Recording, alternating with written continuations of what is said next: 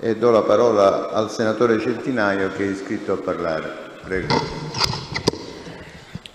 Grazie Presidente. Signor Ministro, l'abbiamo ascoltata bene e in parte abbiamo anche, dico in parte, abbiamo anche apprezzato alcuni suoi passaggi.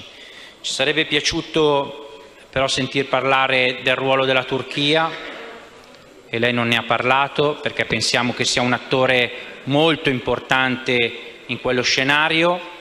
Ci sarebbe piaciuto sentir parlare del ruolo dei, dei curdi, altrettanto importanti in quello scenario in cui eh, non, è, non, sono tanto gli stati nazionali quanto le etnie, quanto eh, tutto quello che ne consegue. Ci sarebbe piaciuto parlare, sentirle parlare del ruolo dell'Europa. Lei dell'Europa ha parlato solamente alla fine quando, parla, quando parlava del, della ricostruzione. Beh, ancora una volta, e lo diciamo noi che siamo tacciati di essere i cattivoni eh, che la vogliono distruggere questa Europa, ancora una volta questa è la dimostrazione, lo dirò anche alla fine, che l'Europa a livello internazionale praticamente non conta nulla.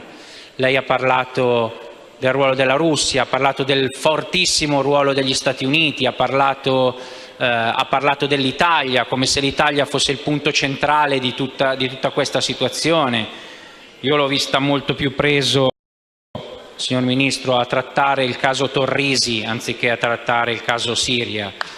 Però eh, forse, forse, era più preso a parare, a parare i, missili, i, missili, che arrivavano non dagli Stati Uniti ma arrivavano dal Partito Democratico, però va bene così.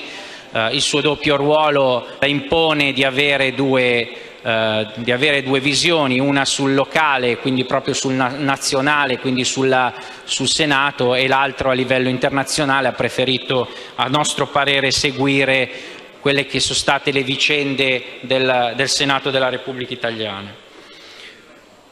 Le circostanze in cui la scorsa settimana un'azione di combattimento nei confronti di Iblidi si è conclusa con la morte di decine di civili, tra cui molti bambini, causata dall'esalazione di un gas benefico sono tutt'oggi una controversia. Come già accaduto altre volte in altri conflitti, esistono ormai una verità politica e gli effetti che questa ha prodotto, determinando in particolare la scelta degli Stati Uniti di utilizzare per la prima volta contro il governo di Assad la forza militare di cui dispongono. Per quanto si sia trattato di un'azione calibrata e circoscritta, nella quale si è cercato di ridurre al minimo le vittime ed evitare del tutto quelle russe, non vi è dubbio che si sia registrato un cambio di passo rispetto a quello che avevamo visto precedentemente. Un cambio di passo, Presidente, che per noi è fonte di preoccupazione, perché come molti altri osservatori pensavamo da qualche tempo che la nuova amministrazione americana sarebbe stata meno propensa a ricorrere alle armi di quella uscita di scena. E se vi ricordate quella di scena signor, appena uscita di scena del signor Obama è quella che aveva avuto anche il Nobel per la pace. Prendi il Nobel per la pace e poi fai la guerra in giro per il mondo. Comprendiamo naturalmente la logica dei rapporti di potenza e l'idea che ha probabilmente ispirato la scelta del presidente statunitense sinceramente colpito dalla violenza delle immagini e comunque alle prese con una campagna mediatica che lo ha dipinto come una specie di Ascaro del Cremlino. Siamo tuttavia, Presidente, turbati dagli sviluppi che questo passaggio potrebbe implicare e altresì per il modo in cui vi si è giunti.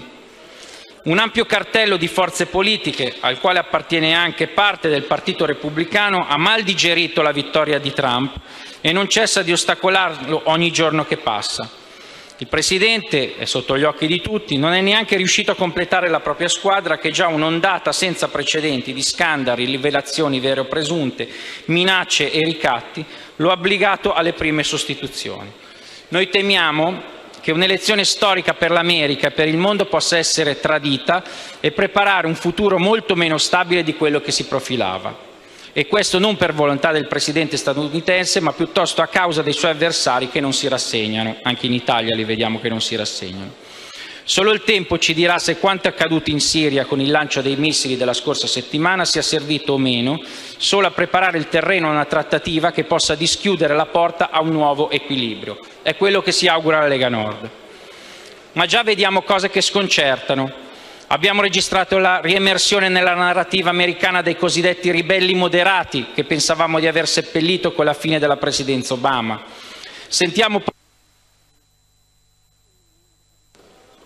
Ho quasi finito. Sentiamo poi nuovamente parlare di progetti di regime change, di cambiamenti di governo che ci fanno tremare perché evocano il ricordo dei numerosi disastri degli ultimi vent'anni, Afghanistan, Iraq, Libia. Consideriamo inoltre con molta preoccupazione l'eventualità che la Russia possa essere messa ancora una volta con le spalle al muro. Non sappiamo cosa sia davvero successo dove sono stati impiegati i gas, ma riteniamo che occorra evitare di infliggere alla Russia e a Putin una punizione troppo severa con l'isolamento. Lo dobbiamo non tanto ai russi quanto a noi stessi, perché non sappiamo chi sostituirebbe al Cremlino l'attuale presidente russo e perché siamo invece sicuri che una Russia nel caos diventerebbe davvero un grave fattore di rischio.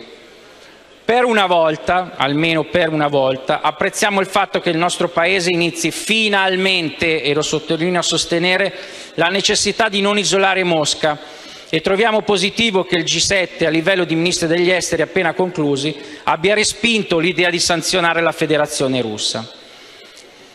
Però Signor Ministro, speriamo che questa non sia solamente un'operazione di facciata, perché noi l'abbiamo visto in più di un'occasione, ci ricordiamo durante il, durante il governo precedente il Premier Renzi che da un lato andava a trovare Putin e dall'altro lato sosteneva le sanzioni alla Russia. E quindi chiediamo a questo governo di seguire l'esempio del Presidente della Repubblica Mattarella che in modo serio è andato a parlare da Putin e in modo serio ha parlato con la Russia.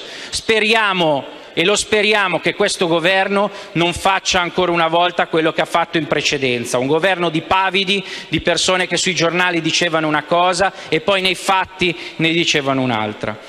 Le ripeto, signor Ministro, forse la, signora Mogherini non era e non è, a nostro parere, in grado, in grado di rappresentare l'Europa. Forse questa Europa non è in grado di avere una politica estera. Sicuramente la devono avere gli Stati. Se voi credete, voi credete che questa Europa possa avere eh, una una soluzione possa avere e possa presentare qualcosa di positivo per questa, per questa situazione, cercate di fare tutto il possibile. Noi siamo dalla parte di chi vuole la pace e non siamo dalla parte di chi lancia le bombe. Grazie.